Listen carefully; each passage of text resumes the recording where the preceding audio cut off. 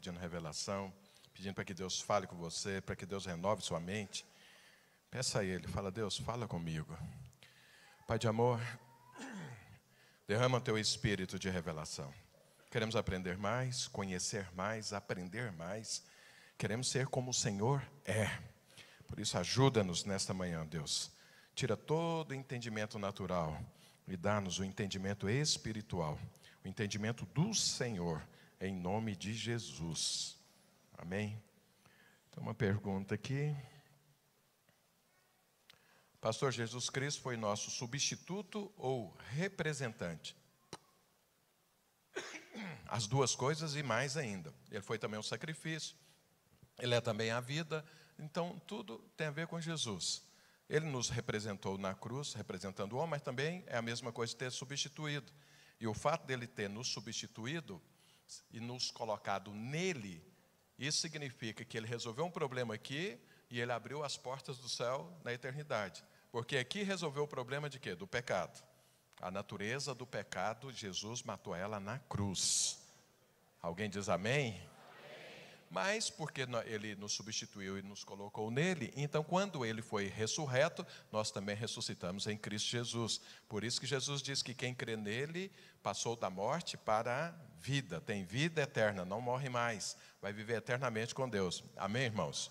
Então Jesus é substituto, é representante, é, é a vida, é a nova vida, é a alegria. Se você olhar lá em, em Isaías, um, os qualificativos do que Jesus é nas, nas nossas vidas. Amém?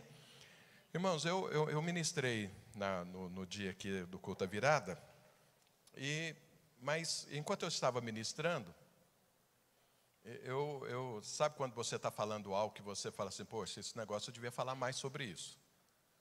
Então eu vou repetir o que eu ministrei aqui no dia primeiro, né, até alguns que eu, desde o ano passado que eu não os vi, eu os vi hoje, então eh, eles não ouviram, vai ouvir novamente. E, mas eu vou, me, eu vou focar num, num único ponto, que tem a ver aqui com Canaã. Então, abra sua Bíblia em Deuteronômio, capítulo 11, porque eu fiz algumas colocações, mas eu quero reaf, reafirmá-las e poder explicar um pouco melhor. Então, Deuteronômio capítulo 11.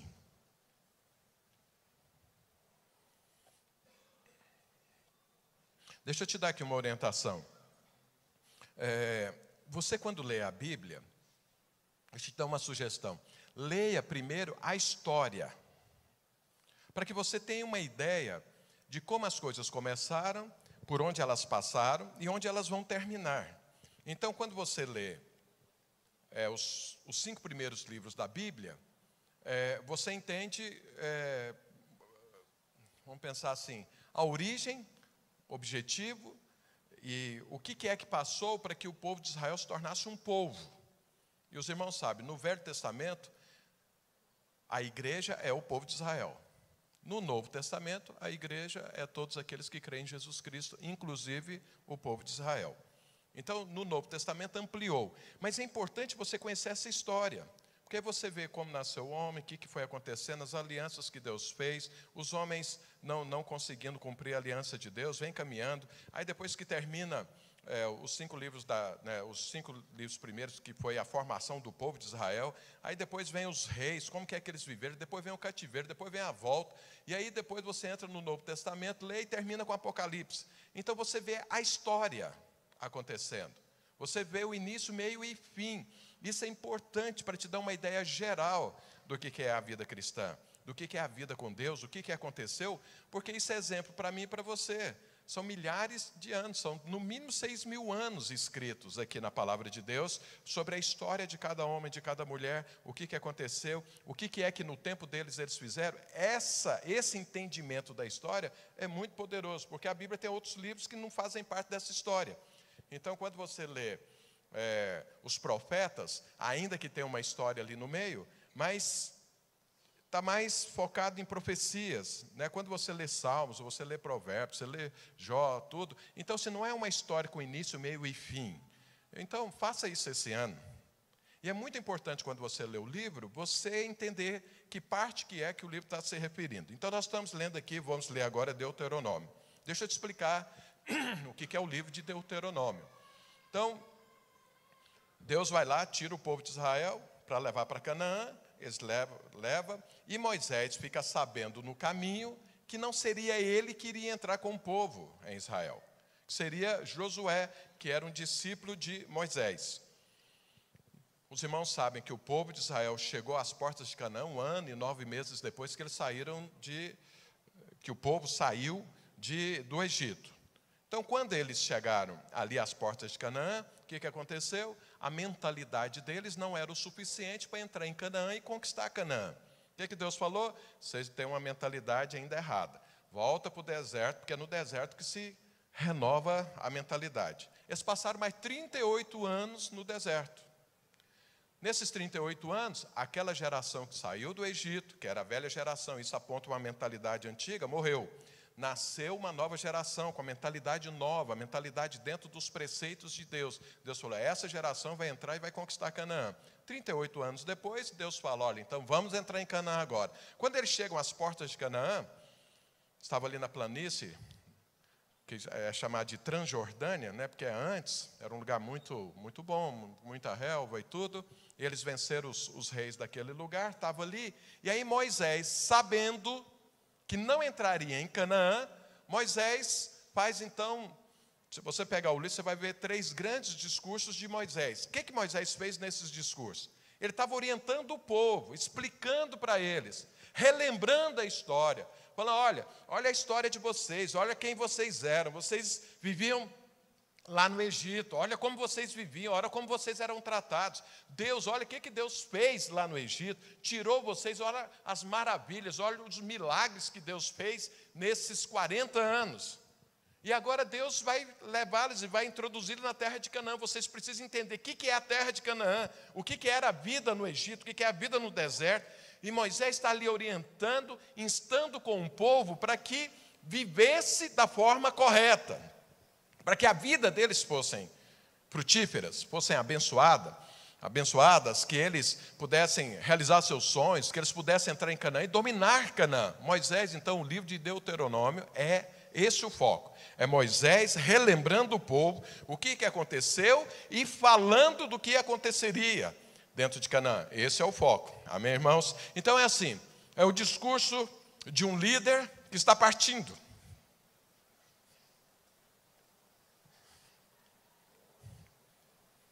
E muito preocupado com o seu povo. O que, que vai ser? O que, que eles vão fazer? Como que vai ser da agora para frente? Porque enquanto ele estava ali, ele estava orientando, falando, ministrando da parte de Deus. E ele estava preocupado, o que, que vai ser depois? Então o livro de Deuteronômio é isso. Então vamos ler aqui, a partir do, no capítulo 11, a partir a partir do verso 8. Vamos ler a partir do verso 8 até o verso 16. E olha o que, que Moisés diz. Guardais, guardai, guardai, pois, todos os mandamentos que hoje vos ordeno, para que sejais fortes e entreis e possuais a terra, para onde vos dirigis, para que prolongueis os dias na terra que o Senhor, sob juramento, prometeu dar a vossos pais e a sua descendência, terra que mana leite e mel. Porque a terra que passais a possuir não é como a terra do Egito, de onde saístes, em que semeáveis a vossa semente, e com o pé regáveis, como uma horta. Mas a terra que passais a possuir é terra de montes e vales, da chuva dos céus beberá as águas, terra de que cuida o Senhor vosso Deus, e os olhos do Senhor vosso Deus estão sobre ela continuamente, desde o princípio até o fim do ano. Se diligentemente obedecerdes aos meus mandamentos, que hoje vos ordeno, de amar o Senhor vosso Deus e de o servir de todo o vosso coração, de toda a vossa alma, darei as chuvas da vossa terra a seu tempo, as primeiras e as últimas, para que recolhais o vosso cereal e o vosso vinho e o vosso azeite. Darei erva do, no vosso campo aos vossos gados, e comereis e vos fartareis. Guardai-vos, não suceda que o vosso coração se engane e vos desvieis, e servai a outros deuses, e vos prostrarei perante eles. Só até aqui, eu acho que está bom. Gosto demais desse texto. Muito mesmo. Já fez muita diferença na minha vida. Então veja, Moisés, nesse texto, nessa parte aqui de Deuteronômio, lembra que Deuteronômio é uma lembrança e uma recomendação. Uma lembrança do que aconteceu, uma recomendação para o futuro.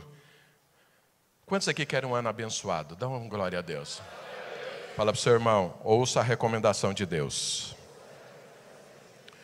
Então, Moisés começa a falar, então, nesse ponto aqui, nesse texto, do que é Canaã. Do que é Canaã. Eles nunca moraram em Canaã, nunca viveram em Canaã, não tinha, não sabia como era.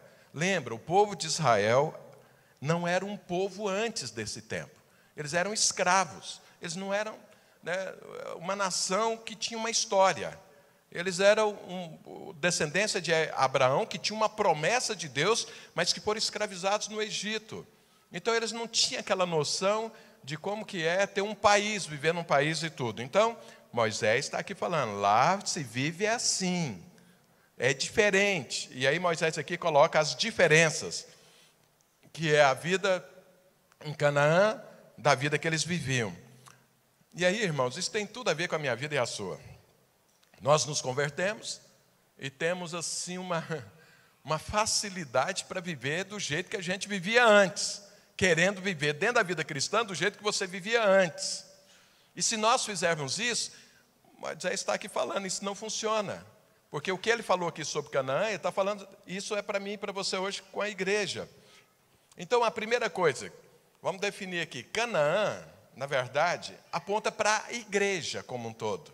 Canaã é um lugar. Canaã, aqui está falando, um lugar onde o Senhor está olhando continuamente e tudo. Então, é hoje, que lugar é esse? Hoje é a igreja. Agora, dentro de Canaã, então, ou seja, todo o povo de Israel deveria viver dentro de Canaã. Não é fora, é dentro. Alguns historiadores dizem que uma parte do povo de Israel, quando viram e ouviram a visão e o que Moisés estava falando, muitos não foram para Canaã. Resolveram ficar no Egito. Por quê? Eu já falei isso para os irmãos, quando uma das vezes que eu fui em Israel, eu fui lá no Egito, na parte onde o povo de Israel, segundo os, os historiadores, saíram. E eu fico pensando, eu fui lá, fiz questão de estar no lugar aonde o povo partiu.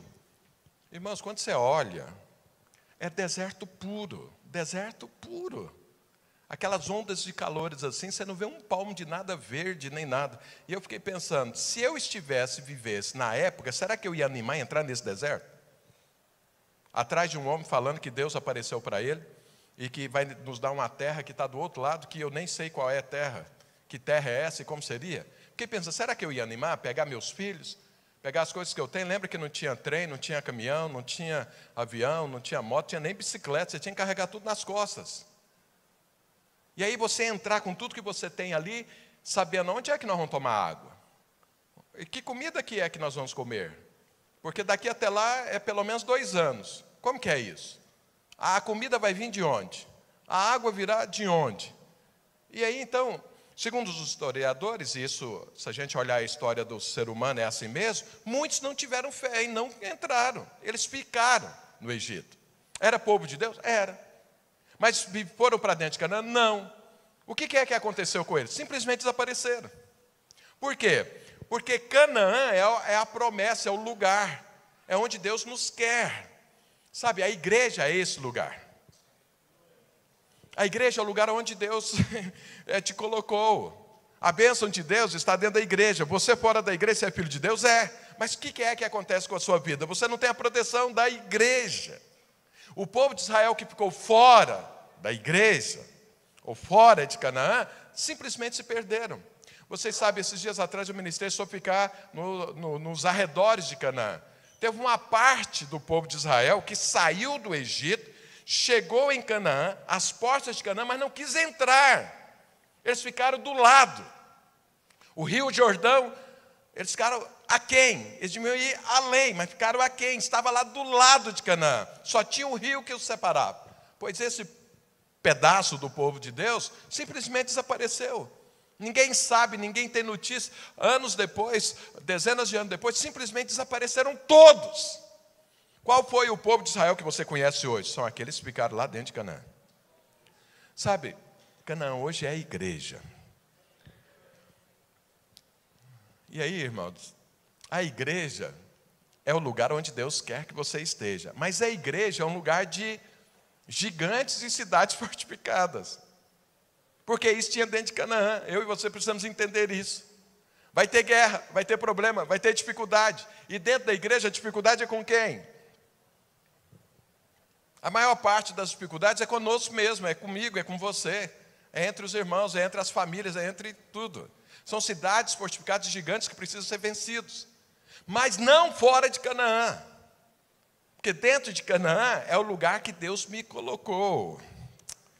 Oh, meu Deus. Isso tem que ser um, um, uma vitória que eu e você precisamos passar por ela. É uma guerra que todo dia o diabo fica colocando coisa na sua cabeça para te desvincular, desconectar da igreja. Eu me lembro que eu conheci um, um amigo que ele, ele sempre tinha muito problema com a igreja. E aí ele ficava azedo lá na casa dele, não ia na igreja. E aí depois nós conversamos muito, em muitas oportunidades, muitas vezes. E aí um dia eu falei para ele, falei, irmão, é o seguinte, mesmo que você esteja ruim, vai para a igreja, senta lá no último banco, fica azedo, fica bicudo, não conversa com ninguém, não cumprimenta ninguém, entra e sai, não fala com ninguém, mas vai. Ele fez isso. Era muito engraçado ver ele chegar na igreja, sentar no último banco, ninguém podia falar com ele, porque a má resposta viria mesmo. Parecia que ele tinha tomado, chupado limão puro. Mas isso, ouvindo a palavra de Deus, ouvindo a palavra de Deus, hoje ele ama a igreja, não consegue ficar fora da igreja. Ele entendeu, sabe? Foi uma vitória pela qual ele passou. Ele entendeu, eu não posso me desconectar da igreja, que isso vai fazer mal para a minha vida. Pergunta para o seu irmão aí do lado, você já entendeu isso? Então, olha, o êxito e todas as promessas de Deus é dentro de Canaã. Dentro de Canaã, não é fora, é dentro. Nós lemos o texto aqui, eu vou detalhar mais isso. Então, Canaã aponta para a família de Deus.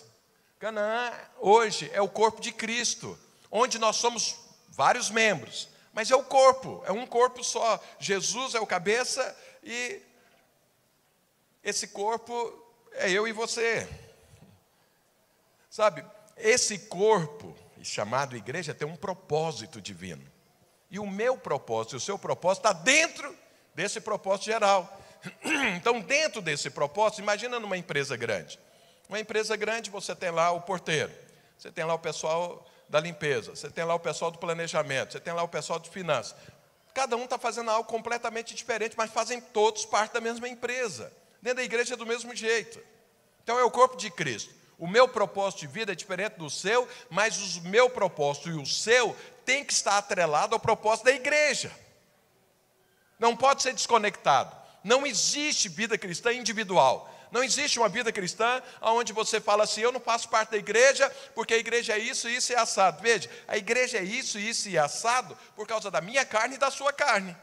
Mas Jesus está edificando essa igreja e esse corpo. Deus está aí, Deus está trabalhando. Então, quantos aqui querem ter o. Novamente, eu vou perguntar isso várias vezes. Um 2020 cheio de vitória. Um glória a Deus. Fica com a mão levantada, fica com a mão levantada. Fala para quem está com a mão levantada. Não desconecte da igreja.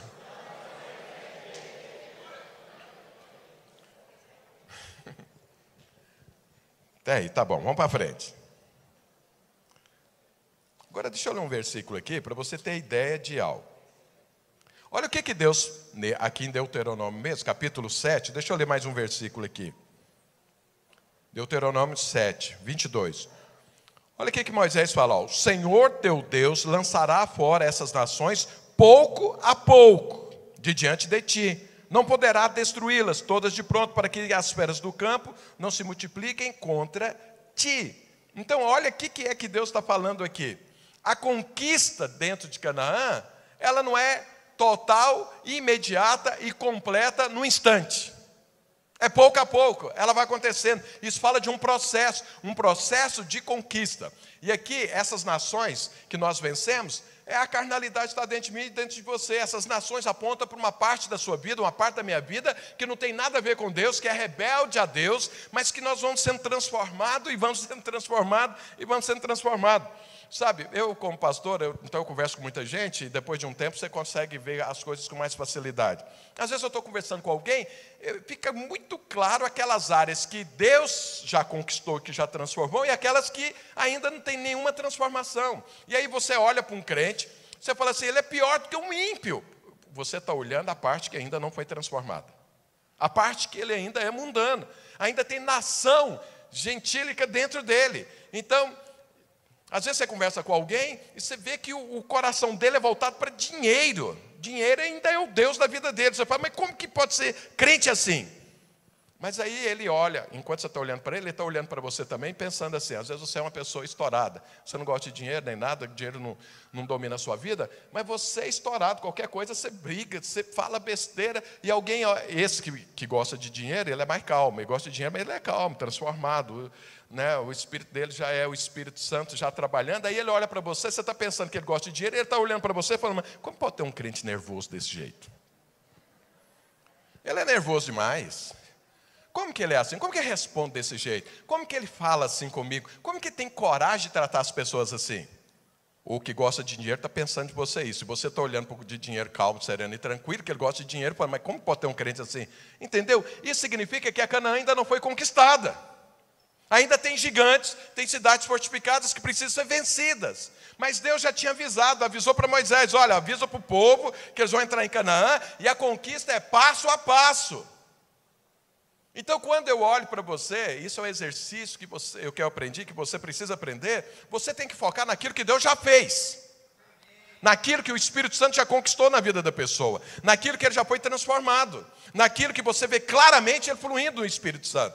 De vez em quando eu vejo as pessoas falarem sobre profetas. É profeta profetizando isso, mas ele faz assado. Sim, o profetizar é a parte que Deus já fez na vida dele. Ele flui no espírito. Mas às vezes ele não tem uma atitude, um comportamento adequado. Então não junte as duas coisas, porque Canaã é conquistada passo a passo. Fala para o seu irmão, vai ser passo a passo suas vitórias. Você não tem todas essas vitórias hoje.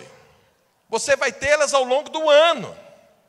Por isso nós precisamos de algo. Vamos conquistando, e vamos conquistando, e vamos conquistando. Tem gente que às vezes faz um alvo, só que Deus olha e fala: bom, para conquistar aquilo ali, ele tem que resolver uma coisa antes. Então eu, eu resolvi que a partir de fevereiro eu vou criar vergonha na cara e vou emagrecer. Em fevereiro. Não, já é uma decisão. Me espere, você vai ver. Eu, eu, eu só assim, eu fico parado, pensando e vendo. Porque eu falei, eu não vou emagrecer no, no, Natal, no Ano Novo, nas férias, pelo amor de Deus, é, a vida cristã é uma alegria, não é tortura. Então, deixa em fevereiro, deixa chegar fevereiro. Mas aí tem o irmão Edinho aqui que está me ajudando. Tem um processo, eu quero emagrecer, mas acontece o seguinte: tem um processo. O irmão, cadê ele? Ele sempre senta aqui na frente. Aqui. Eu encontrei com ele ali e falei assim, mas esse irmão emagreceu demais. Aí eu falei para ele, uma impressão minha. Ele falou assim: não, emagreceu acho 17 quilos, sei lá, 15 quilos. Eu falei, mas o que, que você fez? Ele falou: ai, simples, pastor, fechei a boca. Eu falei: ah, não, tem misericórdia. Para com isso. Isso não é de Deus, não pode ser. Tem que comer com alegria, orando, dando graças a Deus. Você fechou a boca. Agora me fala: tem gente emagrecer sem fechar a boca? Não tem. Eu posso não gostar da receita, mas essa é a receita. Então é o seguinte: se eu se eu estabeleço um alvo lá, tem um processo, não tem como, eu tenho que entrar nesse processo. Então veja, conquista de Canaã é um processo. É um processo. Não vai ser da noite para o dia. O seu ano de 2020, 2020 vai ser abençoado, mas ele não começa você tendo todas as suas conquistas no primeiro dia do ano. Você tem um ano para conquistar e tem um processo para passar. Eu tenho que estar disposto ao processo. Pergunta para o seu irmão: você está disposto ao processo? E eu preciso emagrecer de todo jeito. Os irmãos viram que eu só estou usando camiseta ultimamente? É porque camiseta estica, a, a, camisa não. Não cabe as camisas. Eu ponho apertado, fica, não tem jeito. Aí eu comprei umas camisetas para ver se estica e fica mais fácil. Eu não quero perder minhas camisas. Meu Deus, deu duro para comprar. Então veja. Mas Moisés está aqui falando sobre Canaã, então entenda bem. Moisés, o líder que está partindo e que os outros vão continuar, ele está preocupado, ele está ensinando, está mostrando. E aí ele fala: olha, é dentro de Canaã, não é fora. Há um mês atrás eu preguei sobre isso. As outras duas tribos e meia ficaram fora. Moisés falou: vocês estão malucos? Como vocês ficam fora de Canaã? A promessa é dentro. Como você está fora? Então não existe bênção de Deus fora. Fora você continua sendo filho de Deus e Deus está te protegendo. Mas as conquistas são dentro de Canaã, que é o propósito divino, é conectado na igreja. Cada dia mais nós precisamos nos conectar na igreja e mais. Vou te falar uma coisa. Eu sinto isso no meu espírito, já falei aqui, estou pregando dois meses sobre isso e vou pregar mais esse semestre. Hoje eu vejo claramente um espírito do inferno desconectando pessoas da igreja, mostrando que não é tão importante elas estarem conectadas, e por N motivos. Mas eu quero te falar, não importa o motivo. A promessa de Deus é dentro de Canaã. Quem permanece, quem vence, é aqueles que estão dentro de Canaã, ou seja, aqueles que estão conectados na igreja. E, quais, e Moisés está mostrando, no entanto, viver dentro da igreja tem diferença da forma como vocês viviam. E aí Moisés começa a falar dessas diferenças. E aí vamos ler aqui os versículos que ele vai mostrando essas diferenças. O verso 10, ele fala o seguinte: Porque a terra que passais a possuir não é como a terra do Egito. Fala para o seu irmão: Canaã não é como o Egito. Fala para o outro: Canaã não é como o Egito. Cutuquem quem está à frente: Canaã não é como o Egito. Olha para trás e fala: Não se vive em Canaã como se vivia no Egito. E aí ele explica como que era.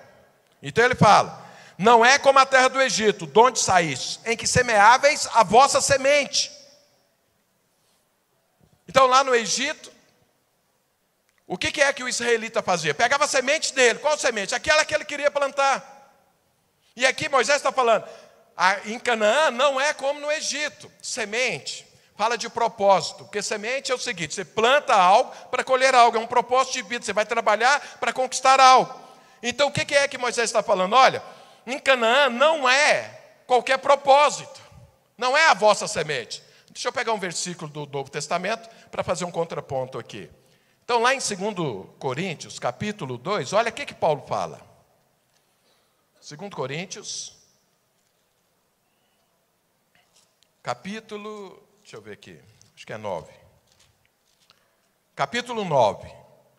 Olha o que, que Paulo fala, 2 Coríntios, capítulo 9, verso 10. Ora, aquele que dá semente ao que semeia, e pão para alimento também suprirá e aumentará a vossa sementeira e multiplicará os frutos da vossa justiça.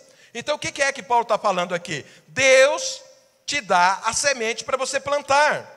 O que é que Moisés está falando para o povo de Israel? Lá no Egito você plantava a sua semente.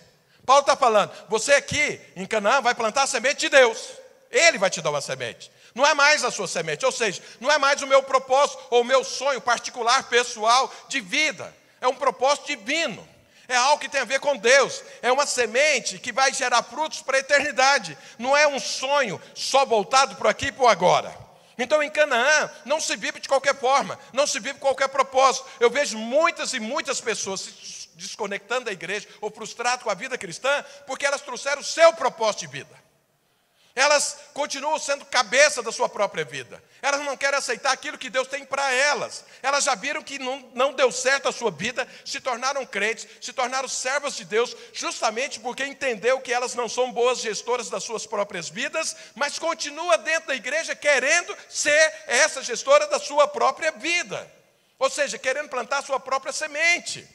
Eu sempre falo para os pastores, é raro, eu, eu, eu quando me me converti, eu tinha muitos alvos, alvos de 5 anos, de 10 anos, de 20 anos. Acabei com todos, porque eram alvos meus.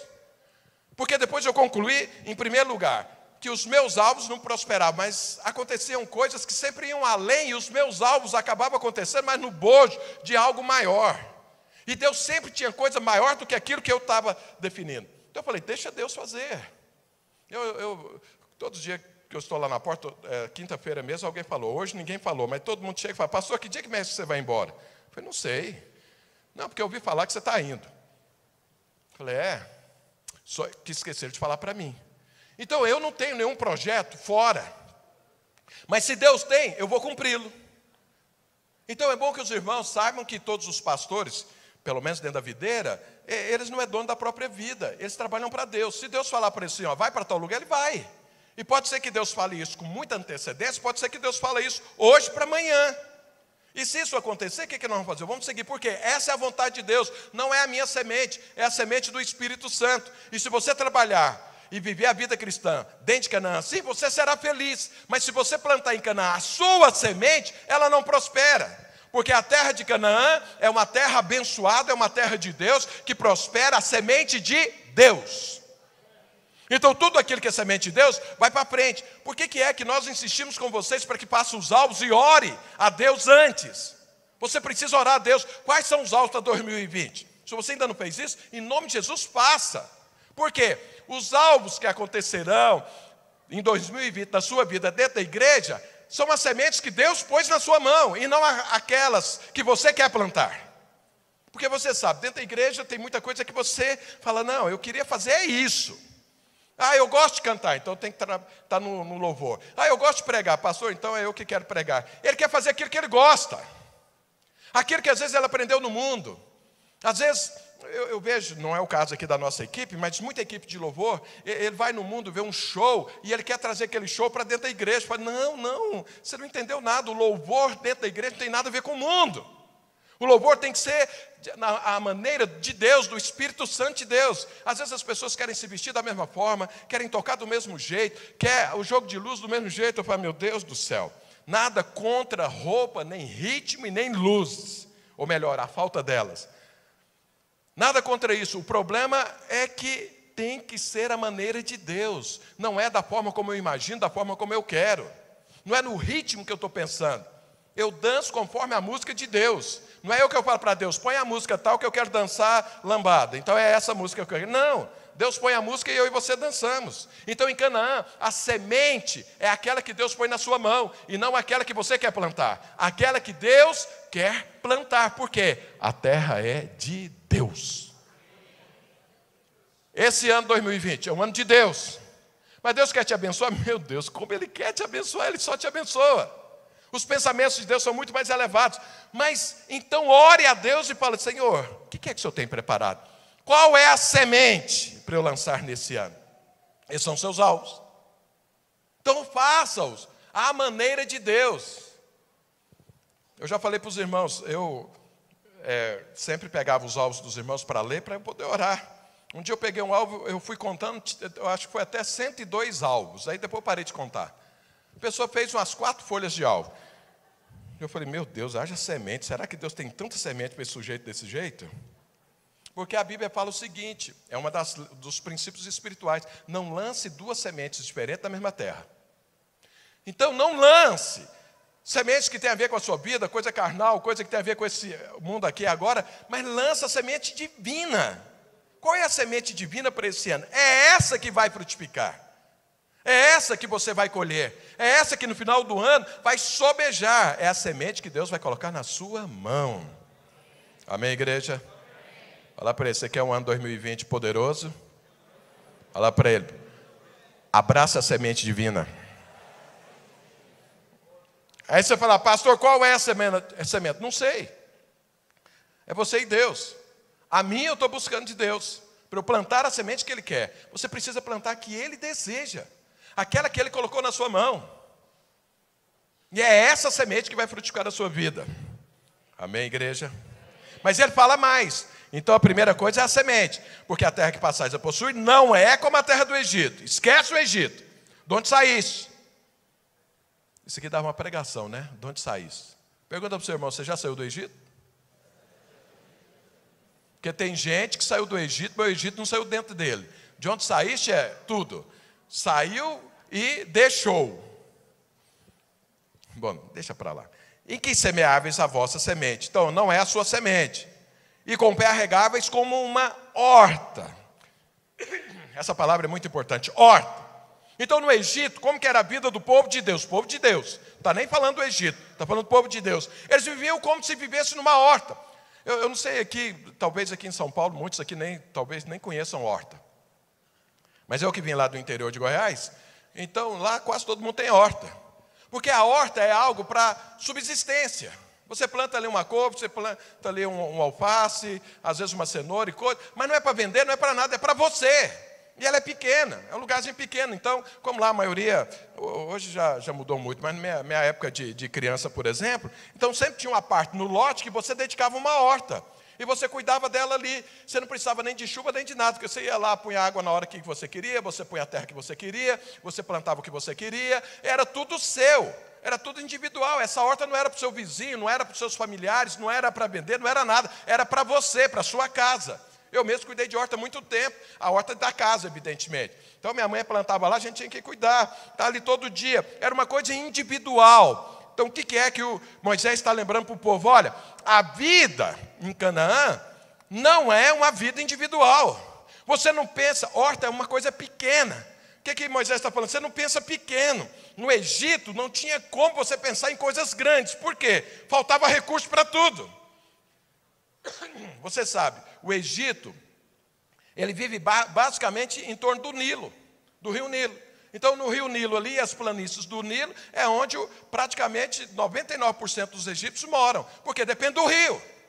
E é tudo ali, fazer os, a, a, canalização para a água vir até a sua horta, e você cuidava, e a horta era para você, para você não morrer de fome, para você comer. Então era tudo o que? Na força do braço, era tudo o que? Pequeno. O que, que é que Moisés está falando? Olha, Canaã você não é, você não pode pensar pequeno como uma horta e nem viver só para você. Você faz parte de uma coletividade. Nós vamos trabalhar juntos. E agora você pensa em coisas grandes, porque no Egito era impossível, porque agora não falta recurso, porque Deus é dono do ouro e da prata.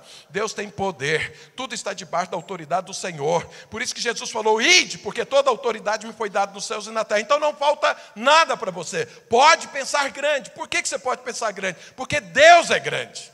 Você agora vai trabalhar na terra de Deus. Você agora faz parte do reino de Deus. Então, não é como uma horta. De vez em quando eu penso, pergunto para a pessoa: você quer prosperar? Não, não, pastor, eu quero ter só o suficiente para mim. Eu falo, ainda está no Egito. Está pensando só nele. Não, eu quero só o suficiente para mim. Eu não quero ficar rico. Eu quero só é, que eu tenha o suficiente para mim, já está bom. Ele pensa que isso é ser espiritual, não, isso é ser carnal. Isso é pensar como o Egito pensa. Isso é pensar na horta. É só para mim. Irmãos, eu quero ser próximo para poder ajudar todo mundo que Deus colocar na minha frente. Eu não quero só para mim. Eu quero para mim, para minha família, para a igreja, para mim, para todo mundo. O que chegar na minha mão, eu quero abençoar pessoas. Então, quanto mais eu tiver, melhor é para abençoar. Moisés está falando, para de pensar como uma horta. Pense em algo grande. Fala para o seu irmão, pense em algo grande. Esse será o seu ano, em nome de Jesus. Fala, pastor, não tem nem jeito de pôr um alvo aqui. Deus está falando, mas é impossível. É, se fosse possível, é obra sua. Impossível é obra divina. Então, só pode caracterizar ter o selo divino quando é impossível. Aí você tem certeza, Deus fez. Porque se qualquer homem pode fazer, ah, não, se eu tiver dinheiro eu faço, então é obra humana. Ah, se eu tiver isso eu faço, então é obra humana. Não, isso aqui é impossível, então isso é uma obra divina. Fala para o seu irmão, o impossível é para Deus você só vai ficar com o desfrute. Amém, irmãos? Fala para o seu irmão, pensa grande. Larga a horta de lado. Mas aí Moisés continua falando. Verso 11: Mas a terra que passais a possuir é terra de montes e vales. Então ele está falando, não é mais horta. Não é um, um, pedacinho, é terra de montes e vales. Eu gosto dessa expressão montes e vales. Porque montes, começa com montes. Montes aponta para o seu relacionamento com Deus. Vales aponta para as suas dificuldades aqui na terra. Ou seja, nós vivemos um misto. Numa hora eu estou diante de Deus, mexendo o poder de Deus, da presença de Deus, fluindo em Deus, e logo em seguida eu estou num vale guerreando. Mas acontece que o que eu recebi no monte, que é o poder, a presença do Senhor, é o que me fortalece na hora que eu estou no vale. E enquanto eu estou no vale, alguém fala, pastor, mas não tem jeito de tirar o vale? Não, porque o vale vai trazer para o seu dia a dia aquilo que você aprendeu no monte. Tem pessoas que vivem de monte em montes e eles estão correndo dos vales. Não, vale faz parte da minha vida, porque Canaã é terra de montes e vales. Então você tem horas, momentos onde você se enche da presença de Deus e tem hora que você está em cima de uma tribulação que você pensa, agora eu morro. Mas não, como você esteve no monte antes, agora você tem poder, a presença, a sabedoria para resolver o problema da tribulação. E quando passa a tribulação, você fica mais fortalecido ainda no Senhor. Tem pessoas que não gostam de tribulação porque na tribulação ele sempre está perdendo. Ele sempre está tendo derrota. E ele olha como a, a tribulação como algo que tira algo dele.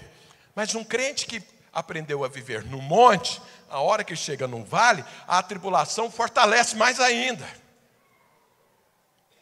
Eu estava conversando aqui com o Edinho agora de manhã. É, apesar de eu, de eu, ter feito meu, o meu alvo para a partir de fevereiro, mas já, ele já está me ajudando de algum tempo. E antes, até para andar, eu estava com um problema. Mas eu estava falando para ele, eu fui lá no parque, quinta-feira, com os meus netos para andar de bicicleta, andei lá uma hora e meia e tudo, voltei de lá, não senti nada. Então, ou seja, é uma tribulação andar de bicicleta, irmão, você não tem ideia. Mas eu estava no monte, lá na academia, treinando uns tempos antes, então passei com facilidade, sem nenhum problema. Porque o neto sobe da bicicleta e tudo, e fala, vamos lá, vovô. Eu falo, não, estou cansado, mas eu não. Eles falam assim. Não, você que está pedalando. Sou eu. Mas ele está só desfrutando e ele quer vento no rosto. Mais rápido, mais rápido, porque tem que andar para fazer vento no rosto dele. E aí eu tenho que andar mais rápido. Então veja, se eu não fui para o monte preparar, nessa hora aí pronto, falei, não, vamos, deixa eu pegar um ventilador pôr na sua cara, porque não dá, não na bicicleta.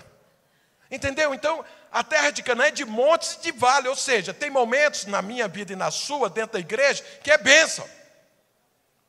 Que é só mover, só poder, só presença do Senhor, só fluir do Espírito. Mas tem hora que é vale.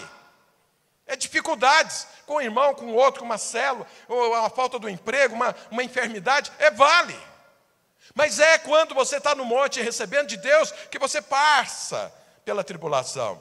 Então, irmão, não tenha dúvida, nós teremos um ano de 2020 de montes e de vales. Mas no final, nós vamos vencer todos os vales em nome do Senhor Jesus. Amém? Mas você precisa do monte. Se não passar pelo monte, então não tem jeito de vencer no vale. Porque Canaã é assim. Primeiro você começa no monte, mas depois você vai enfrentar um vale, depois outro monte, depois outro vale, e assim vai. Fala para o seu irmão, glória a Deus pelo monte. Mas glória a Deus também pelos vales. Agora, olha o que, que a palavra de Deus fala mais. Moisés está mostrando as diferenças. Entenda as diferenças. Não é horta, é montes e vales. E aí ele fala mais: da chuva dos céus beberá as águas. Ah, isso é muito, muito poderoso. O normal não é você beber água de um poço você fazer uma cisterna, ou às vezes pegar água de um rio e tudo. Quem é aqui que vive bebendo a água dos céus? Água dos céus, a chuva, normalmente eu e você nem bebemos. A gente, quando hoje em dia o pessoal faz a canalização da água para uso que não é bom, para vaso sanitário, para lavar a calçada, lavar a casa, não para beber. Mas isso aqui está falando que em Canaã você bebe da água dos céus. Então, o que, que significa isso? Evidentemente, não está falando só da chuva natural. Isso aqui é algo espiritual, irmãos. Então, veja, deixa eu ler esse versículo aqui para você. Quer ver? Abre lá em Gênesis. Gênesis capítulo 1. Qual foi a primeira coisa que Deus criou quando o mundo estava um caos? Então, capítulo 1 de Gênesis, verso 1. No princípio criou Deus os céus e a terra. A terra, porém, estava sem forma e vazia, havia trevas sobre a face do abismo, e o Espírito de Deus parava sobre as águas. Disse Deus: haja luz, e houve luz. E viu Deus que a luz era boa, e fez separação entre luz e trevas. Chamou Deus a luz dia e as trevas noite. Houve tarde e manhã o primeiro dia. O primeiro dia Deus criou luz. Irmãos, essa, esse relato aqui da criação do mundo ou da restauração do mundo tem a ver com a minha vida e a sua. Então, Deus nos criou e depois nós caímos em pecado e Deus começou a restauração das nossas vidas. Isso aqui é, é, é, um símbolo dessa restauração. Deus criou os céus e a terra, mas depois o diabo caiu e aí virou um caos. E Deus começou a restaurar. A primeira coisa, luz. Luz é quando você aceita Jesus, Ele é a luz dos homens. Isso é a primeira coisa. Mas o que é que Deus criou no segundo dia? Olha o que é que está escrito. Então, houve tarde e manhã o primeiro dia. E disse Deus: haja firmamento, firmamento é os céus, no meio das águas e separação entre águas e águas. Fez, pois, Deus o firmamento e separação entre as águas debaixo do firmamento e as águas sobre o firmamento. E assim se fez. E chamou Deus ao firmamento céus. Houve tarde e manhã o segundo dia. Então veja, a primeira coisa mais importante a ser restaurada na minha vida e na sua é quando Jesus entra, porque eu e você éramos trevas, agora entrou luz. A segunda coisa é que Deus fez separação entre águas e águas: águas dos céus e águas da terra. E águas aponta para a palavra, águas aponta para os princípios, a água aponta para tudo aquilo que vem da boca de Deus, que Ele fala, a sua forma de viver. Isso são águas. E aqui Deus deixou claro, no segundo dia, ele fez separação. Ou seja, existe uma maneira de viver na terra, existe uma outra forma de viver nos céus. E Deus separou as duas coisas. Deus não deixou as duas coisas juntas. E se você vê o terceiro dia, o que é que aconteceu no terceiro dia? Nas águas da terra, Deus separou água de terra. Era tudo misturado. Deus separou. Separa as águas. Da, e a porção seca deu o nome de terra, e a porção que separou, chamou de mares. Agora, olha interessante. Quando nos céus, na Nova Jerusalém, na nova terra, o que, que não vai existir que existe hoje? O mar. O mar não vai existir. A terra continuará, Deus fará nova terra, mas Deus não fará novos mares. Não vai existir novos mares. Então, isso significa o quê? Que há águas, que são os princípios, os únicos que vão permanecer, é aqueles do firmamento, é as águas dos céus, é as águas que mostram, as águas apontam para a forma como Deus vive, os princípios de Deus. Vai chegar um dia que todo esse princípio, que tudo que eu e você aprendemos nesse mundo, vai desaparecer, não vai mais existir, vai estar tudo lá dentro do inferno junto com o diabo. Só vai ficar o que? As águas dos céus. Então, o que, que é que Moisés está falando para o povo: você vai entrar em Canaã, só Canaã é terra de Deus. Você não se alimenta ali, você não bebe ali dos princípios do homem. Você não aprende ali as coisas que o homem aprende, não é a sabedoria, não são seus princípios, não suas regras, suas leis, mas você vai beber das águas dos céus. Ou seja, vai mudar a sua vida, vai mudar o seu casamento, vai mudar a sua forma de trabalhar, vai mudar a sua forma de tratar seus filhos, vai, vai afetar a sua forma de tratar seu corpo, vai mudar tudo. Porque você vai viver segundo as águas do céu, você vai beber, você vai aprender, você deve viver agora a partir dessas águas. Sabe, no ano 2020, você fez alvos, você está trabalhando, você quer um ano abençoado, mas se você beber das águas que não seja dos céus ou da terra, isso não vai acontecer. Eu e você precisamos beber das águas dos céus. Eu preciso e você também precisa ler a palavra de Deus, entender a palavra de Deus, praticar a palavra de Deus, substituir na minha vida e na sua tudo aquilo que não é palavra de Deus. Esses dias eu recebi um vídeo, acho que vocês devem ter recebido, que eu é, recebi em vários grupos, né, eu participo de vários grupos, e em todos os grupos eles colocaram esse vídeo, que é uma pesquisa, segundo eles, científica, eu não sei se isso é verdade ou não, dos benefícios de ler a Bíblia. Então você tem um benefício de ler a Bíblia. De não ler a Bíblia acontece certas coisas. De ler a Bíblia uma vez na semana acontece algo, de ler duas vezes acontece algo, duas, três vezes acontece algo, mas quando você lê a Bíblia quatro vezes, a sua vida é completamente mudada. Isso não é, não, não foi discurso de um pastor, não. Foi uma pesquisa científica. Quantos aqui receberam esse vídeo? Tem muita gente que não recebeu. Procura tê-lo. Ou se você não tiver, fala comigo que eu envio, porque meu celular está cheio dele, até guardei ele. Então veja, a palavra de Deus são as águas dos céus. Que Moisés está falando, lá em Canaã você vai beber dessas águas. De vez em quando eu vejo algum casal eles procurando uma terapia humana, natural, para ser restaurado e depois para não, pastor, isso funciona. Olha, isso é sabedoria, funciona até um certo ponto. É mais sabedoria humana, mas a sabedoria de Deus, ela transforma para a eternidade. Então, leia a Bíblia, Vê o que é que Deus diz para o casal. Siga o que está escrito na palavra de Deus e o seu casamento vai ser completamente transformado. A sua, seu relacionamento com os filhos, siga o que a palavra de Deus diz. E a minha saúde, siga o que a palavra de Deus diz. Aí a minha firma, minha empresa, siga o que a palavra de Deus diz. Ah, e a minha vida profissional, bebe das águas dos céus. Porque lá no Egito você bebia do rio. O rio aponta para a água aqui da terra. Mas Moisés está falando, não é assim Canaã. Lá você vai beber da água dos céus. Você precisa ouvir a palavra de Deus. Sabe, eu não sei quantos irmãos, às vezes ouvem aqui a palavra no domingo, às vezes alguns vêm, outros não vêm. Não sei se ouve depois, mesmo os que ouvem, não sei se eles ouvem depois novamente. se eles para fixar, para entrar na sua cabeça, para você ler, ouvir novamente, deixar essa palavra entrar, mudar a sua vida, transformar a sua vida, substituir as águas da terra. Moisés está falando, lá você bebe das águas dos céus. Você vai ter um, um ano tão abençoado quanto você beber das águas dos céus. Pergunta para o seu irmão: você está disposto a beber só água dos céus esse ano? Faz um compromisso de ler a Bíblia esse ano. Leia do jeito que eu estou te falando. Se você quiser, eu vou passar depois a orientação, quais são os livros e as passagens, para você ler a história toda, para você entender. Aí eu te passo a ler esses textos, você vai entender a história toda. Posso até fazer algumas perguntas para você ler, para você ver se você está entendendo mesmo ou não. Mas faça esse compromisso, ponha isso como um dos seus alvos. Vamos voltar lá para Deuteronômio capítulo 11. Fala para o seu irmão, você quer um ano de 2020 abençoado? Pergunta para ele.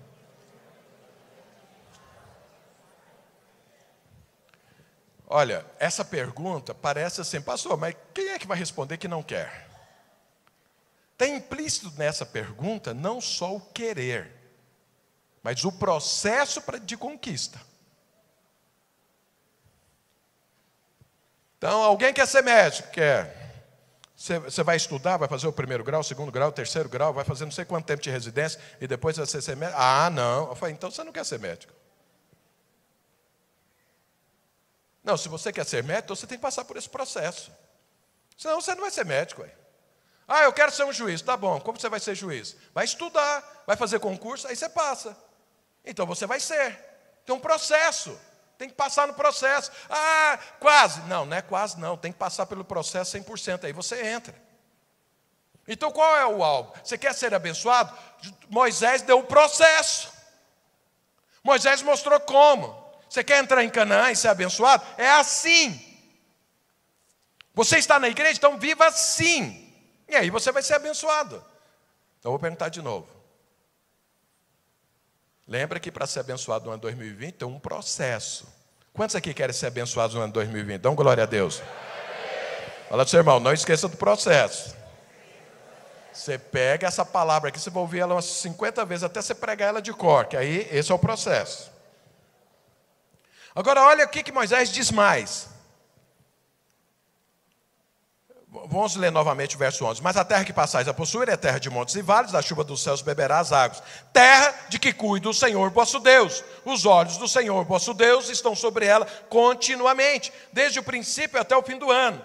Irmãos, isso aqui é muito poderoso. Sabe, às vezes você está dentro da igreja, está vendo algum irmão, algum líder, alguma pessoa, fazendo algo que não é próprio ou para aquela função ou para ele como filho de Deus, ou que não é próprio fazer aquilo dentro de Canaã, mas ele está fazendo. Aí você fala, olha aí, estou falando, olha o que, que o irmão está fazendo, olha o que, que a irmã está fazendo, olha o que está acontecendo dentro da igreja, e não sei mais o que. Só que é o seguinte, olha o que, que é que Moisés está falando. A terra de Canaã, os olhos do Senhor estão continuamente sobre ela. Eu vou te falar uma coisa: nada prospera dentro da igreja que não seja pelo princípio correto. Nada prospera no reino de Deus se não for pela, pela forma de Deus agir. Pode parecer um êxito, mas fica aguardando que mais cedo ou mais tarde aquilo ali vai morrer. Não estou falando da pessoa, estou falando do que ele está fazendo e tudo. Não vai prosperar. Aquilo mais cedo ou mais tarde bate numa parede, num muro de bronze, chamado Deus. Porque Deus não aceita no reino dele as coisas de qualquer forma. Deus não edifica nada com princípio humano. Deus não aceita nada que é no esforço próprio. Tudo de Deus é, é sobre os seus princípios, em cima da graça divina. Eu desfruto do reino de Deus quando estou vivendo a maneira de Deus. Por isso que você vê muitas pessoas na igreja que às vezes não avançam, não crescem, elas, porque elas estão vivendo dentro de Canaã, dentro da igreja, ainda com os princípios fora. E aí aquilo está sendo resistido. Por quê? Pelo próprio Espírito Santo. Não vai para frente. Por que, que não vai? porque ele não está fazendo a coisa de forma correta, porque Deus está olhando. Fora de Canaã, as coisas acontecem. Dentro de Canaã, Deus está olhando. Continuamente. Deus está ali para abençoar, Deus está ali para é, ministrar, mas Deus está ali também para resistir. Resistir o quê? Aquilo que não é a maneira dele. Porque no reino de Deus só prospera aquilo a maneira de Deus. Quantas pessoas às vezes estão à frente de uma célula, estão à frente de uma rede, ou às vezes até à frente de uma igreja e não vai para frente. Por que, que não vai? Porque não é a maneira de Deus. Então Deus está olhando, a terra é de Deus, Canaã é de Deus, tudo ali é de Deus. Deus está olhando continuamente. Lá fora, faz do jeito que quer, mas aqui não. Aqui tem um propósito, aqui tem um perfil, aqui tem princípios, aqui tem um jeito. Qual o jeito? O jeito de Deus. Você bebe das águas dos céus e você vive em Canaã. Então, você não precisa ficar preocupado com uma pessoa que está fora, fazendo algo que fora dos princípios divinos. Deixa que Deus está cuidando disso. Deus cuida. E quando Deus cuida, pode ter certeza, Deus cuida. Só prospera as coisas da maneira de Deus. Então, se você quer um ano 2020 abençoado, saiba, Deus está olhando. Fala para o seu irmão, Deus está te olhando. Aí você vai, ah, pastor, você está passando medo. Não, pelo amor de Deus, não é isso não. Eu estou te alertando, como Moisés estava fazendo com o povo. Ó, lá dentro de Canaã é o seguinte: tem um jeito de viver. Tem que viver assim. Você pode viver de outro jeito, mas você não vai ter a prosperidade devida. Você não vai crescer da forma devida. Deixa eu aproveitar isso que eu falei de prosperidade. Falei para os irmãos que esse ano eu gostaria que a vida financeira da igreja, dos irmãos, de cada um mudasse assim da água para o vinho. Mas acontece o seguinte: tem formas. Eu e você nunca vamos prosperar à nossa maneira, ou na nossa força, ou do jeito que a gente imagina. É a maneira de Deus. Sabe, se você é um dizimista, melhor, se você não é um dizimista, então você está fora, você está vivendo dentro de Canaã a maneira do Egito. Porque o que é que as pessoas mais criticam fora da igreja? É dinheiro. Ninguém critica lá do pastor falar que as pessoas têm que ser santas. Ninguém critica aí fora do, do, do pastor estar tá falando sobre a unidade, sobre restauração de vidas e tudo. Ninguém fala. Mas a hora que fala em dinheiro, todo mundo critica. Por quê? Esse é o Deus deles. Quando você, dentro da igreja, continua sendo Conduzido pelo dinheiro. Como você sabe se você é conduzido pelo dinheiro ou não? Simples. Você pega o seu dinheiro, coloca na igreja. Não, meu dinheiro não. Então o que, que é? O seu dinheiro é mais do que a igreja. Ele que te domina. Quando você define quantos filhos você vai ter ou não, se você tem dinheiro ou não, então o dinheiro está controlando sua vida. Quando você define se vai casar ou não, se tem dinheiro ou não, é o dinheiro que está definindo sua vida. Meus filhos sempre perguntavam para mim, pai, quantos filhos nós vamos ter? Eu falei, não sei, conversa com Deus. Mas e a questão financeira? Falou, você acha que Deus vai te dar uma vida e não vai te dar recurso para sustentá-la? Que Deus é esse?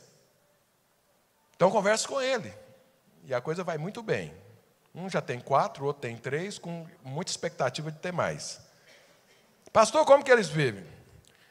Olha, irmão, eu não sou dono do ouro da prata, mas eu sirvo a quem é dono do ouro da prata. Ele vai, ele vai cuidar. Pode ter certeza que vai. Aí é muito, é. Todo lugar que eu chego, eu, meus filhos, meus netos, eh, todo mundo para para olhar. Principalmente lá em, lá em Portugal. É uma coisa impressionante. Porque você não vê criança, você não vê família grande. Família com dois filhos é chamada de família numerosa. Pode um negócio desse? O meu filho tem quatro, aí você imagina. Então, se você não é um dizimista, eu quero te falar: o dinheiro controla a sua vida. Irmãos, me perdoe a sinceridade: o dinheiro está controlando a sua vida. Mas às vezes você é dizimista pelo motivo errado. Você é dizimista para fazer uma troca com Deus. Você é dizimista para Deus continuar me prosperando. Você tem medo de Deus não te prosperar porque você não é dizimista. É errado também. Porque com Deus não se faz troca. Não existe troca com Deus. Deus simplesmente dá. Deus abençoa. Deus é gracioso porque Ele te ama, Ele me ama. Deus é gracioso. Não é troca. Uai, pastor, então como que dá o dízimo? Com alegria. Agradecido eu pego no pé dos irmãos para fazer aqueles agradecimentos, né? Se os irmãos soubessem o quanto que isso é poderoso no reino de Deus, isso é água que vem dos céus, ser é agradecido. Sabe, irmãos, eu não sei se você sabe, mas os Estados Unidos, o dia mais importante, o feriado mais importante dos Estados Unidos, você sabe qual é? É um tal de Thanksgiving. É o dia da ação de graça para o país nesse dia. Agora você acha que uma nação que resolveu ser agradecida a Deus pelas coisas, porque nasceu o Thanksgiving assim. Um dia resolveram fazer uma festa que tiveram uma colheita abundante, marcaram, vamos agradecer por aquilo que Deus fez. Você sabe que a origem da, da, da nação é, americana ela é completamente protestante, evangélica. Então eles definiram esse dia, acho que foi lá pelo ano de 1800 e alguma coisa. A nação só cresce, só avança. Você fala, ah, pastor, a China também avança. Com liberdade, como os Estados Unidos têm, impedindo as pessoas de saírem do país e de viverem em outro lugar que elas escolham, só existe isso nos Estados Unidos. É a nação mais poderosa, mas aí você vai descobrindo, você vai andando, você vai vendo, fala, tem razão de ser isso. Por quê? Porque tem um dia que o país inteiro para para agradecer. E mais, não pode comer o tal do peru antes de orar. E antes de orar, cada um na mesa tem que falar pelo que que ele está agradecendo. Ele está fazendo aquela ceia por quê? Por isso, por isso, por isso, agradeço isso, isso, isso e isso. Aí eles oram e comem. O coitado do peru.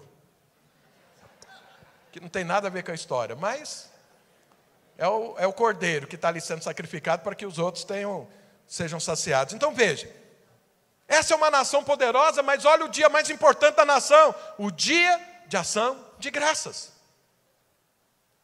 Vamos aprender com quem já passou, com quem cresceu, com quem avançou. Então, ser agradecido, o dízimo é uma questão de ser agradecido. Ser agradecido. Então, você é agradecido a Deus por tudo que Ele fez, você traz o dízimo, traz sua oferta, oferta das primícias. É uma oferta de agradecimento. É você é agradecido a Deus, é agradecido por Deus ter tirado você do inferno, é agradecido por, pelo Espírito Santo que derramou na sua vida, você é agradecido pelas águas dos céus que desce e te ensina, você é agradecido por Deus ter te chamado para que você faça parte do reino dele, você é agradecido pelo dinheiro que Deus já te deu, pelo suprimento que Ele te dá. Você é agradecido, você traz uma oferta de agradecimento. E mais, oferta na Bíblia, ela só tem duas, ela, ela vai, ela vai Definir o que você é. Olha o que a Bíblia diz. Deixa eu ler esse versículo para você, é muito importante. E vai pensando, porque no final eu vou tirar a oferta. Você vai, pastor, você está pregando isso para isso? Também. Mas eu quero que você tenha um ano de bênção no Senhor. Olha o que, que Paulo diz. Lá em 2 Coríntios 9, capítulo 5, olha o que, que ele diz. Portanto, julguei convenientemente, conveniente, recomendar aos irmãos que me precedessem entre vós e preparassem de antemão a vossa dádiva já anunciada, para que esteja pronta como expressão de generosidade e não de avareza. Aqui Paulo está falando de oferta. Se você continuar lendo aí, ele pediu, falou para a igreja ter uma oferta. E aí, olha o que, que ele fala. Para que, eu, eu, ele falou, ó, eu mandei alguém falar antes, porque no dia de tirar a oferta, você tem que tomar cuidado. Porque a sua oferta tem que ser uma expressão de generosidade, não de avareza. Então, olha o que, que acontece. Você contribuir ou não e a forma como você contribui vai definir se você é avarento ou generoso. É o que Paulo está falando. Então, a minha oferta diante do Senhor, ou a falta dela, define se eu sou generoso ou se eu sou avarento. Só tem essas duas possibilidades. Não tem meu termo, não tem um muro, não tem é, a indiferença, não. Ou vai definir que você é generoso, ou vai definir que você é avarento. E Paulo, continuando, se você ler o texto, lê antes e depois, em outras cartas também, fala: avareza é idolatria. Ele fala: avareza é pecado. Ele está falando isso. Paulo diz isso. Então ele está falando: se eu não levo uma oferta até o Senhor, isso está definindo que eu sou avarento. Se eu levo uma oferta muito aquém daquilo que tem a ver comigo, eu sou avarento. Mas se eu levo uma oferta que vai além, eu sou generoso. Ou seja, ou é um ou é outro. Não tem possibilidade de ser as duas coisas. Fala para o seu irmão, você é mais generoso ou você é mais para o lado de avarento? Pergunta para ele, mas não precisa responder não, só pergunta. Então veja, em Canaã, quem é avarento não prospera. Não prospera. Porque Deus está olhando, Deus está vendo, Deus está filmando, Deus está de olho em Canaã. Então alguém pode viver dentro em Canaã avarento? Pode, mas não prospera. Então, se você quer um ano de 2020 próspero, então seja um dizimista pelo motivo certo. Qual o motivo? Ação de graça. eu, tô, eu sou agradecido ao Senhor. Estou trazendo esse disco porque eu sou agradecido. Ah, e se você perder seu emprego, não me interessa. Eu estou dando, é agora em relação ao que passou. Para frente é com Deus. Se seja o que for, eu vou louvar ao Senhor. E se eu ficar desempregado, vou orar e vai me dar um emprego melhor. Então é assim. Não é colocar e falar, Deus, olha aqui, filma, antes Gabriel tira foto, selfie, e só dá um jeito de me prosperar. Porque a prova está aqui, ó, meu dízimo. Entendeu, Deus?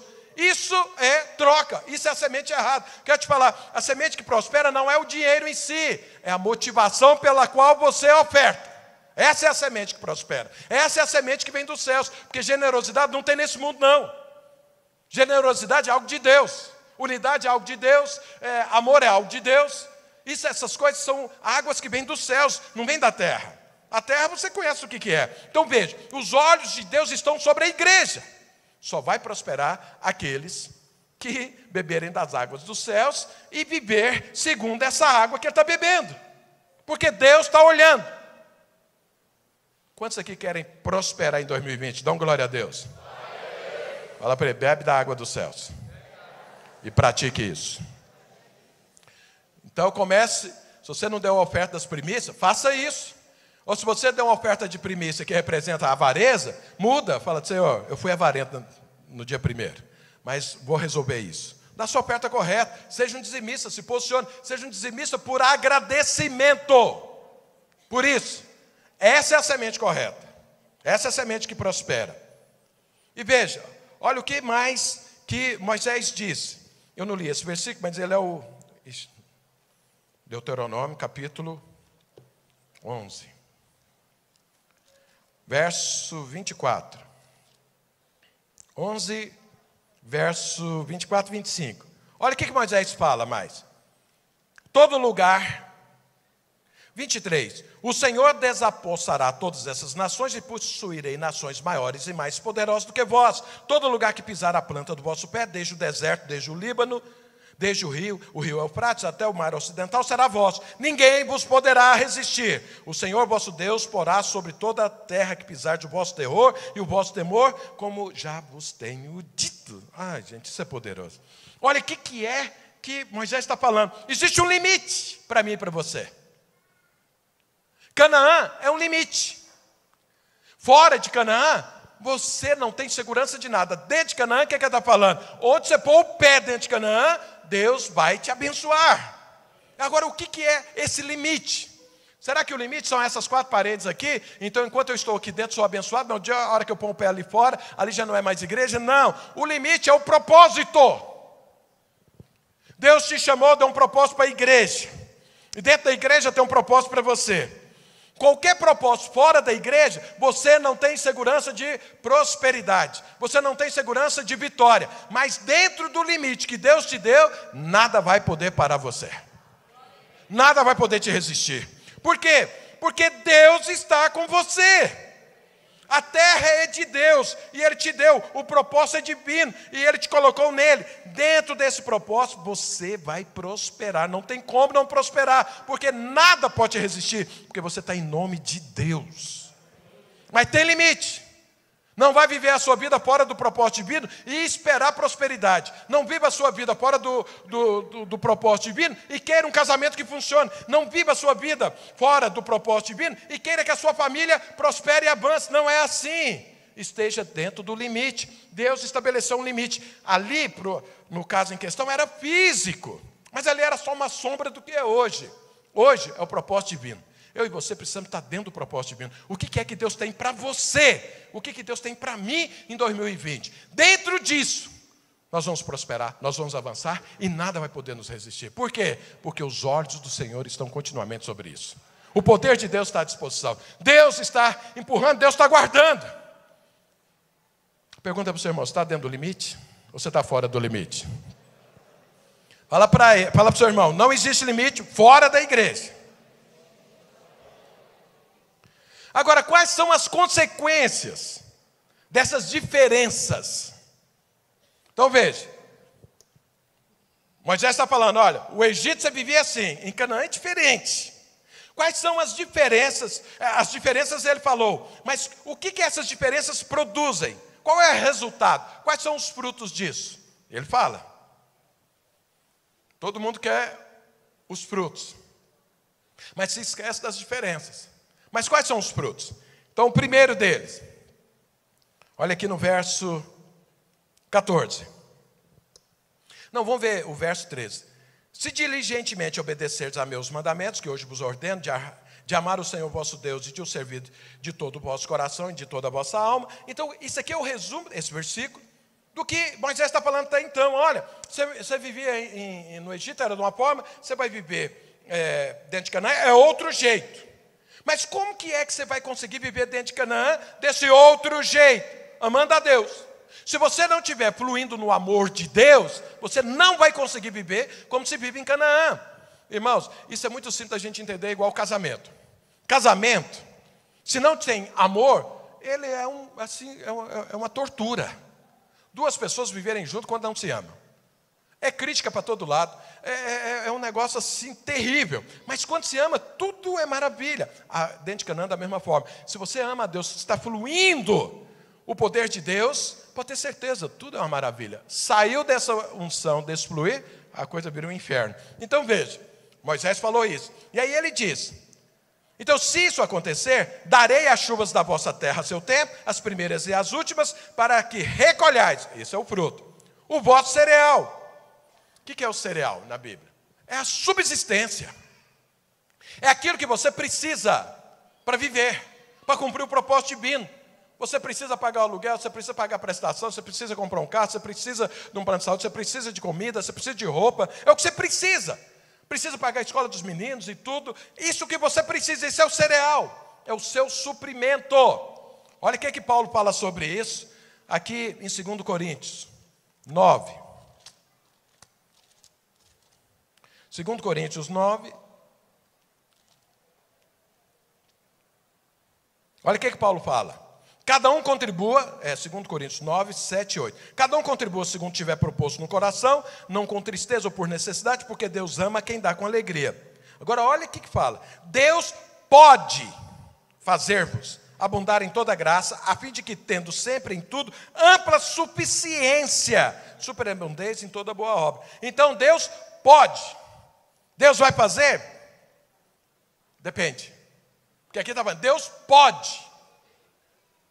Deus pode dar ampla suficiência a todos dentro de Canaã. Deus pode dar ampla suficiência àqueles que estão vivendo dentro de Canaã, debaixo dos princípios corretos. Deus pode. Deus quer fazer isso. Mas por que, que muitos não recebem de Deus? Porque não estão bebendo da água dos céus e nem praticando aquilo que a palavra de Deus diz.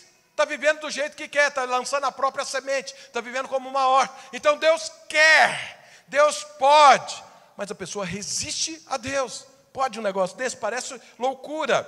Eu quero ter, Deus quer me dar, mas eu resisto a Deus como? Pela forma como eu estou vivendo, pela forma como eu estou plantando. Paulo está falando aqui: planta para você colher, porque Deus pode e Deus quer me abençoar e te abençoar e nos dá ampla suficiência. O cereal é ampla suficiência. Deus está falando: se você viver assim, você vai recolher o cereal. Vai acontecer. Por quê? Porque as coisas funcionam da maneira de Deus. O, o, os meus filhos estão aprendendo agora a cuidar de crianças. Eu já cuidei de dois, estou aprendendo também com os meus netos. Mas aí, um deles é, tem a mania de dar birra. Ele quer uma coisa, se você não fizer, e, e o pior de tudo é que dá umas, umas birras estranhas, porque ele cai para trás assim, bate, bate a cabeça, ou cai para frente, bate a testa. Aí você fica lá, você vai correr para pegar ele. Aí, é, é, quinta-feira está lá na minha casa. Bom, se você for fazer tudo que a criança quer, você está perdido, né? Se você não fala um não para a criança, você conhece a história de Davi. Nunca falou um não para os seus filhos. Você sabe se tem uma coisa que Davi nunca foi referencial, é na família. Leia a Bíblia que você vai ver isso. E a Bíblia explica por quê. Ele nunca falou um não para os seus filhos. Está escrito isso. E a família dele foi quase toda destruída. Então, e aí está lá, meu, meu filho vai correr, eu falei, não, larga esse menino aí. Não, mas olha, estou batendo, eu falei, tá bom. Aí uma hora eles saíram, eu fui lá para o meu quarto, lá tem um closet, eu entrei lá, e o menino queria pegar umas roupas lá, eu falei, não, não pega não. Aí ele caiu no chão, bateu, ah, é.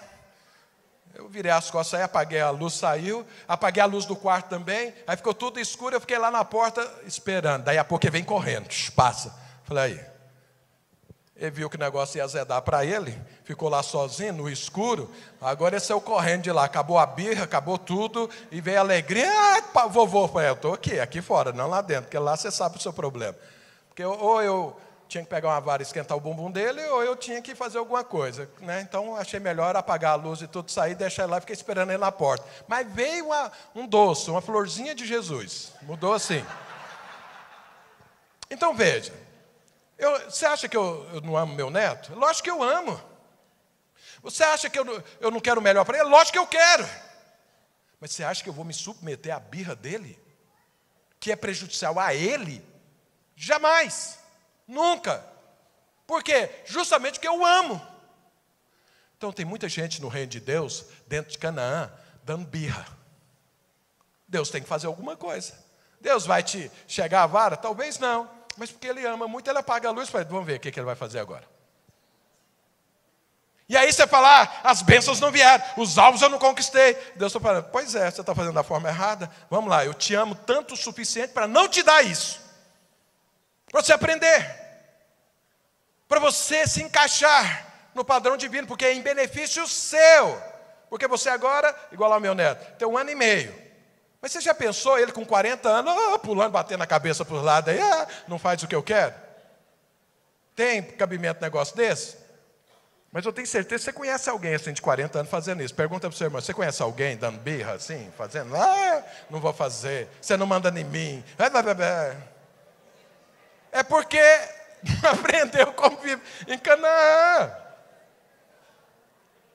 A minha casa é uma Canaã para os meus netos. Chega lá, eu falo, ó, minha casa, minhas regras. Quando eu vou na casa deles, passo um tempo fazendo eu vou embora, porque as regras aqui é duro. Eu não consigo aguentar, não. Deixa eu ir embora. Mas lá na minha casa, aqui é as minhas regras. Mas em benefício deles, você acha que eu quero agora é, ficar brigando com um menino de um ano e meio? Não, eu quero que ela aprenda porque eu estou abençoando. Sabe, Deus quer te abençoar. Fala para o seu irmão, Deus quer te abençoar. Fala para o outro, Deus pode te abençoar. Mas você tem que plantar. É o que Paulo diz aqui em 2 Coríntios 9. Leu o verso para você. Isso é o cereal. Quantos aqui querem ter ampla suficiente em 2020? Dão glória a Deus. Fala para ele, planta certo. Mas ele diz mais. Ele fala: olha, recolhei, né, que recolhais o vosso cereal e o vosso vinho. Irmãos, vinho na Bíblia, a primeira menção de vinho, de, de, de símbolo, é alegria. Irmãos, eu nunca vi uma sociedade tão triste quanto a que nós vivemos. Quantas pessoas em depressão profunda? Porque não tem alegria. Alegria faz parte do reino de Deus. O reino de Deus é, é, não tem. É alegria no Espírito Santo. Sabe, quando você está em depressão, está triste, tem alguma coisa errada. Você está tomando água da terra. Porque se você beber água do céu, você vai ficar alegre. Você vai ficar bem disposto. Se você plantar a semente do Senhor, você vai ter alegria. Você vai colher alegria, não tenha dúvidas. Se você plantar o casamento à maneira de Deus, você vai colher alegria no seu casamento. Se você plantar os seus filhos à maneira de Deus, você vai colher alegria com sua família.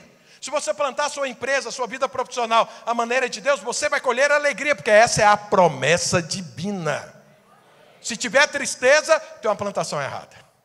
Pode ter certeza absoluta. Por quê? A consequência de viver em Canaã, a maneira de Deus, é ampla suficiência e é Alegria. Fala para o seu irmão, está alegre? A pastora estava alegre até receber a conta do IPVA.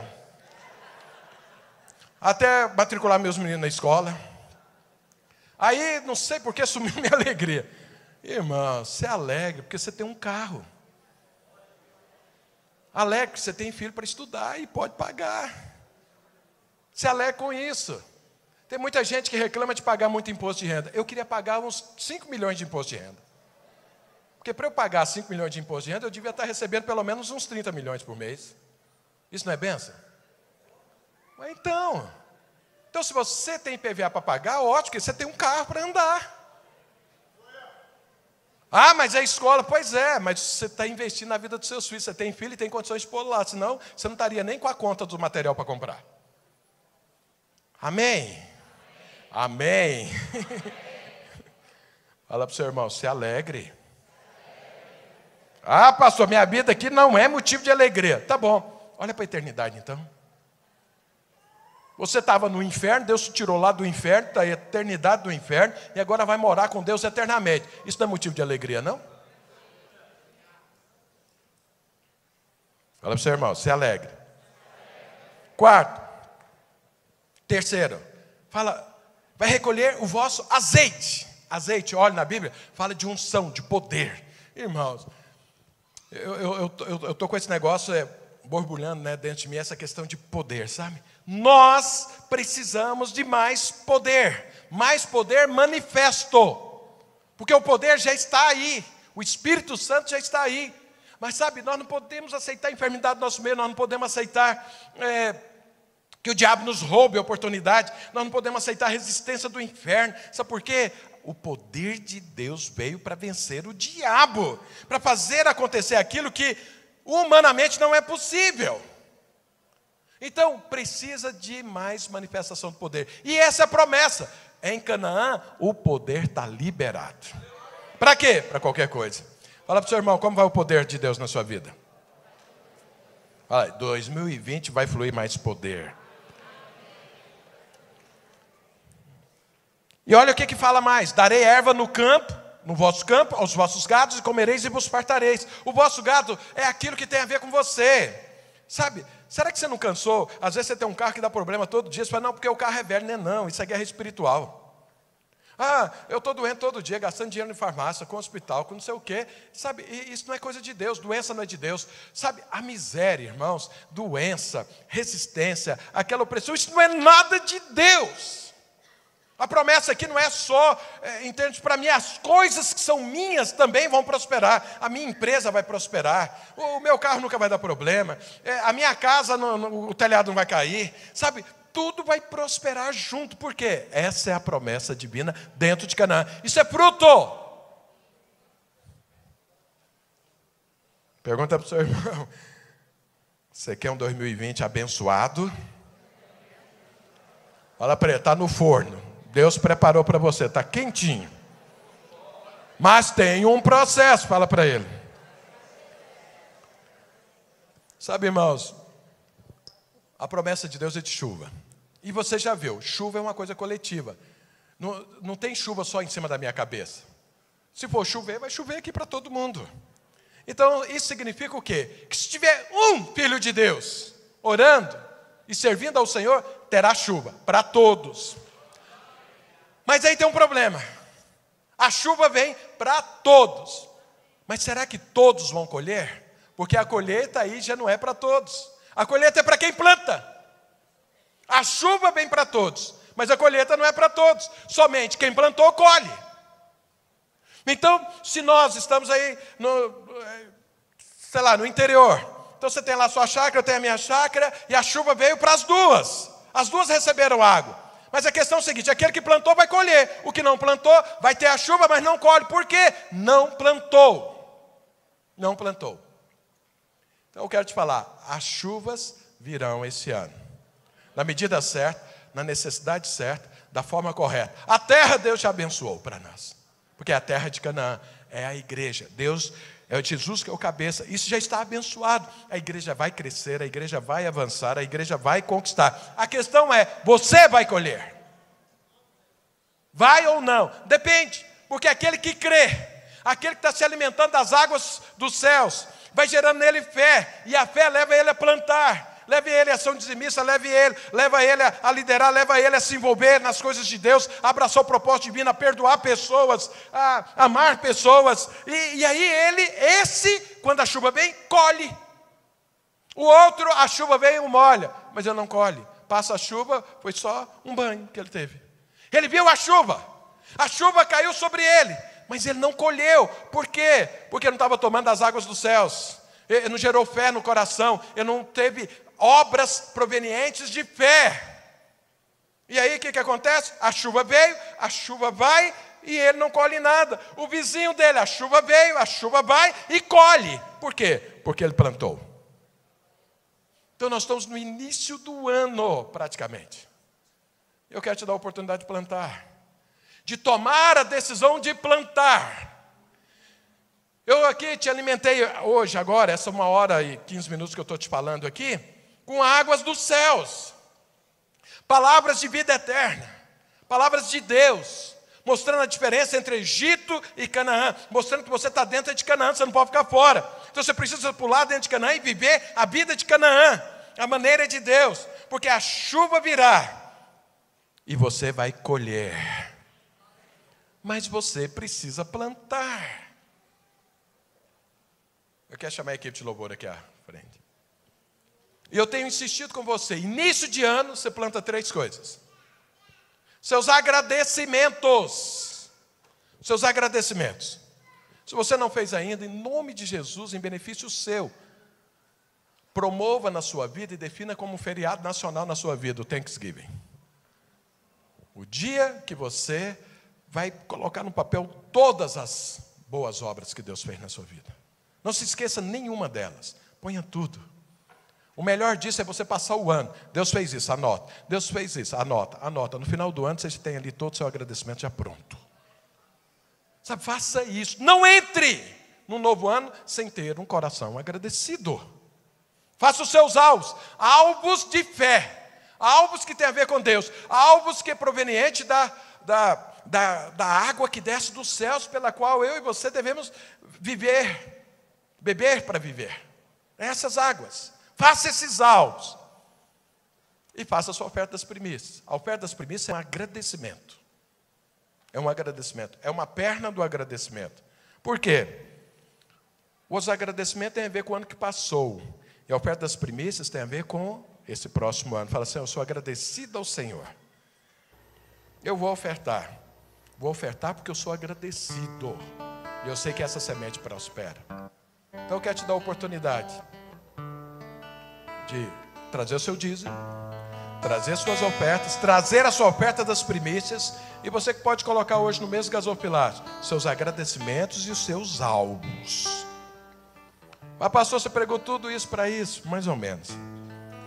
Preguei para abrir o seu entendimento, preguei porque, como Moisés, eu quero que você, eu não tenho jeito de viver a sua vida, mas eu me preocupo com a sua vida, por encargo divino. Eu quero que você seja abençoado. Então, eu estou aqui ministrando as palavras das águas dos céus. E eu estou te dando a oportunidade de colocar isso em prática. Para que tenha um ano. Veja, a bênção de Deus 2020 é sua. É para você. Às vezes eu não vou participar de nada disso, mas eu quero ver você abençoado. Sabe, quando eu apaguei a luz lá do, do closet do, do quarto, meu filho estava lá, meu neto dando birra, eu estava pensando nele, não é em mim, não.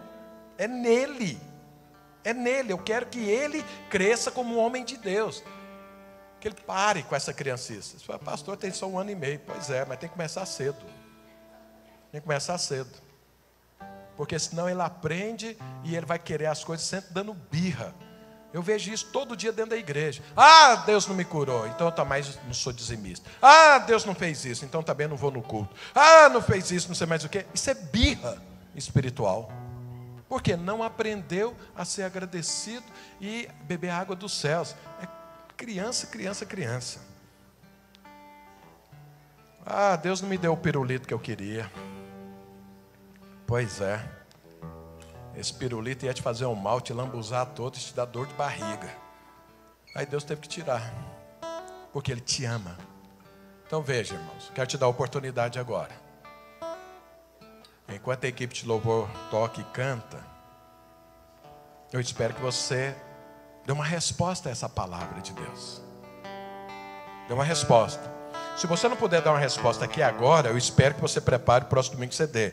Às vezes você não anotou todos os seus agradecimentos, faça em nome de Jesus. Às vezes você não fez seus alvos, faça, ore, jejue. Fala, Deus, eu quero teus alvos. Às vezes você não ofertou. Às vezes você ofertou, mas a sua oferta expressou a sua avareza e não a sua generosidade. Ajuste isso. Ajuste isso. Amém? Vamos ficar todos de pé. Então, enquanto a equipe de louvor toca e canta, traga os seus agradecimentos traga os seus alvos, seu dízimo e a sua oferta das primícias. Por tudo o que tens feito, por tudo o que vais fazer, por tuas promessas e tudo o que és, Eu quero te agradecer com todo o meu ser. Te agradeço, meu Senhor.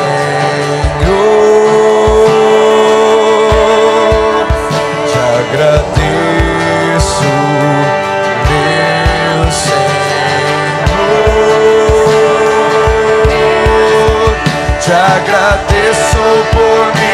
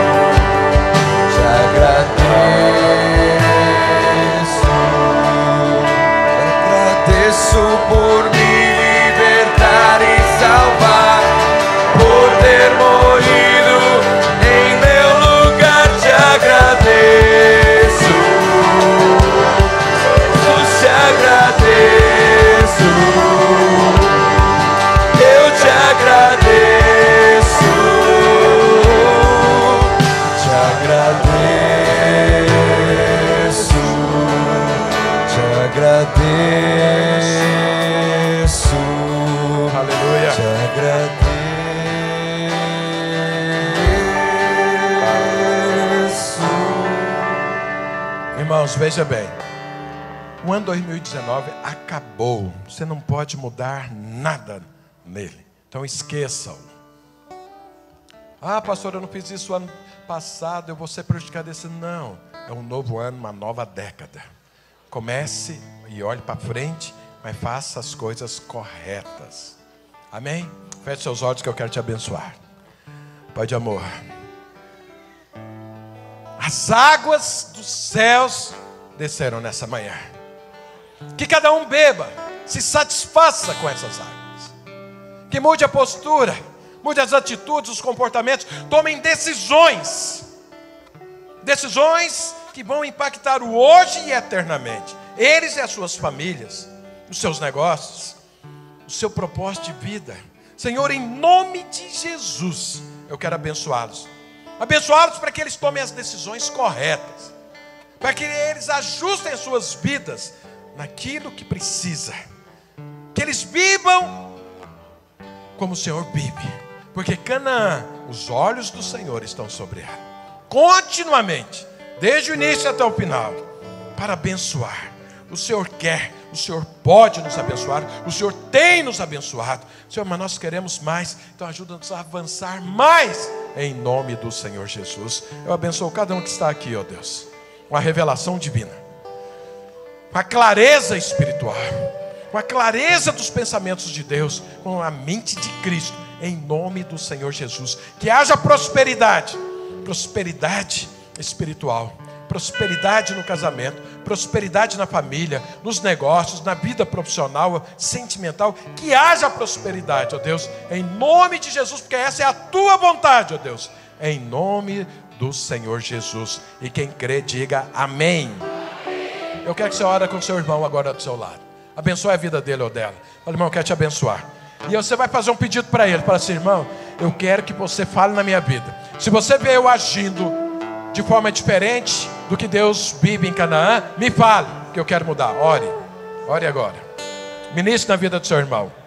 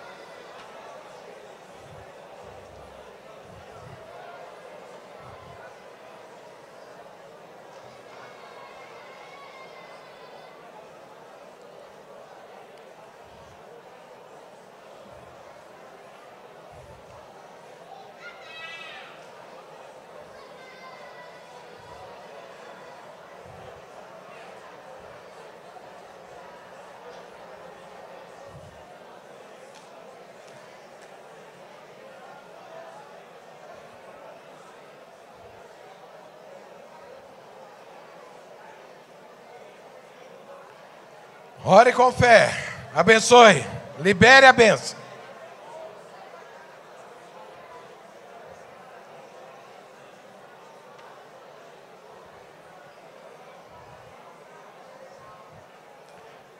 Continue orando, mas nós estamos encerrando em nome do Senhor Jesus. Tem uma semana poderosa e abençoada diante do Senhor. Aqueles que estão orando, continue. Mas os que já terminaram, que Deus te abençoe. Estamos encerrados em nome de Jesus.